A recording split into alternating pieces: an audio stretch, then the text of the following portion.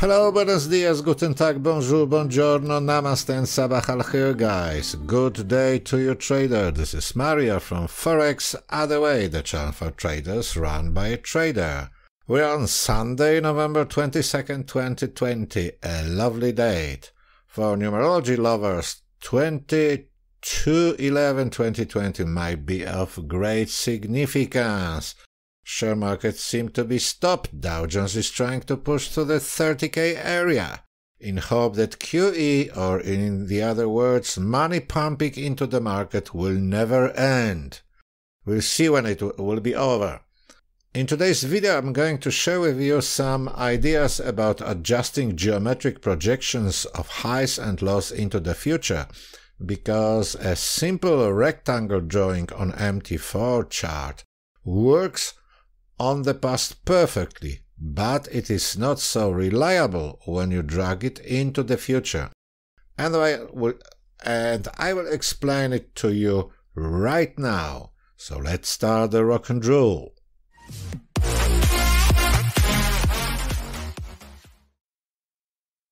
In a few of my previous videos, I've shared with you how to use geometric similarities of the market so you simply draw a rectangle like this one, for example, and then you project it into the future.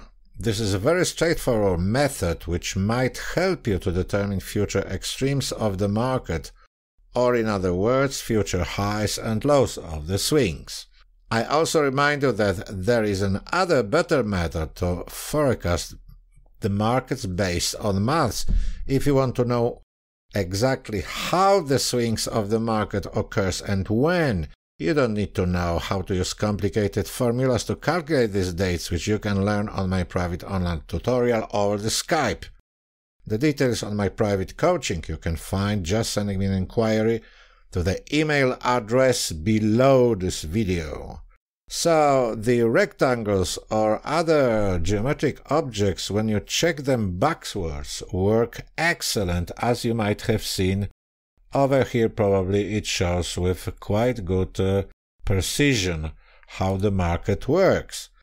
But when you project them into the future, they are not so accurate as I said before. By the way, at the moment I'm on Euro USD chart daily chart and I just quickly show you what I mean by this. If you don't know how to do this projection I've shown before you just make another one. I press simply uh, control and pressing control I drag this uh, I drag this uh, rectangles further.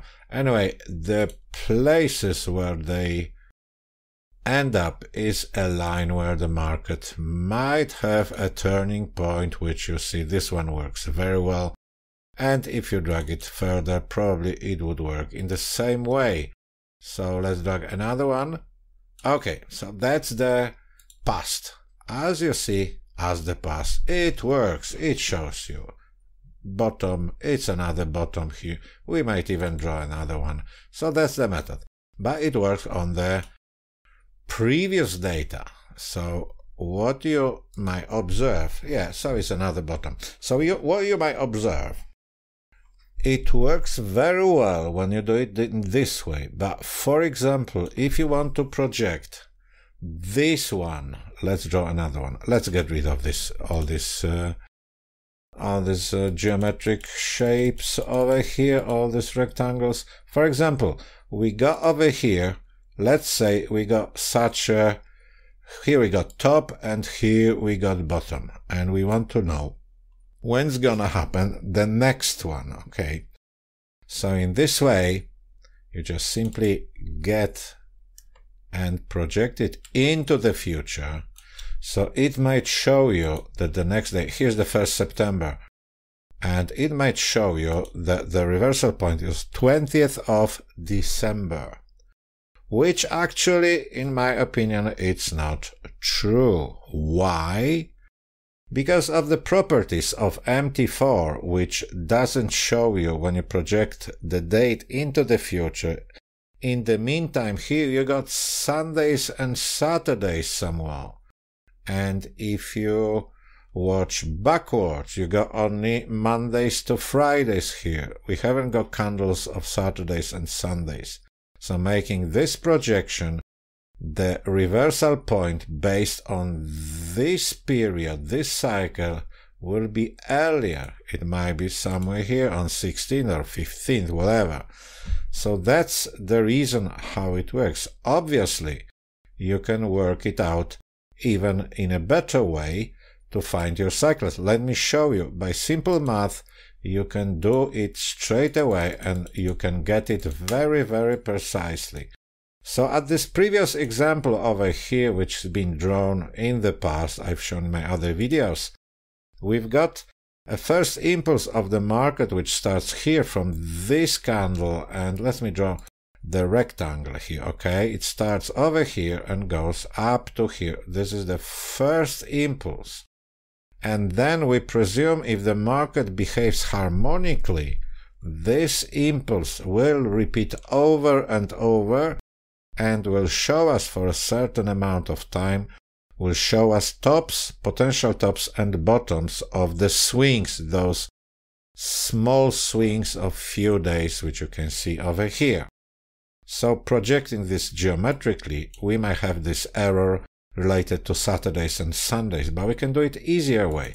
So let me show. We got over here, we got the bottom, which is on 14th of May 2020, and we got the top, which is on 10th of June 2020. I prepared already here a simple Excel sheet which shows 10th of June. This is the top. Let me write it. This is a top, my friend. And here we got the bottom and we can project it into the future using Excel. What I did over here. I, it's projection, number of projections. So this is 27 days. By coincidence, this is the number of lunar days of synodic sidereal sidereal I think is sidereal period 27 and something days very characteristic so anyway so here is the multiplications. 27 54 81 108 135 162 and 189 days. So I added I added this number to our top because we are talking about all this period. So, because from here to here we had the first cycle of 27 days, they will repeat over and over again, one by one. Let's check what's gonna happen. The first one we got 7 of July and 3rd of August. Let's draw it. 7th of July and 3rd of August. 7th of July. Where is it? It's somewhere here first 7th of July, this one, and 3rd of August. Where is our 3rd? Here we go. 3rd of August. This bottom. Lovely. Boom. We got it. Very precise. Next one. Next two. 30th of August and 26th of September. 30th of August is my friend over here. 30th was Sunday, so 31st was Monday. Okay, so we got this top around 1st of September when the market changed direction and start going downwards. Next one was 26th of September. 26th of September. Where is it? 28, 5th, 6, 8. So somewhere here. Here we got 25th. 26th was on Saturday, my friend. So if we got our date calculated falling on Saturday, usually it happens on Friday, the day before. If it happens on Sunday, as we had over here on 30th of August, we just because Sunday the market is closed, the next point is Monday. So that will happen. Next one, let's check it over here. 23rd of October, which is here. Where is 23rd? Which one is there? 22nd, 23rd of October. We got a high over here. So very, very characteristic. We go low, high, low, high.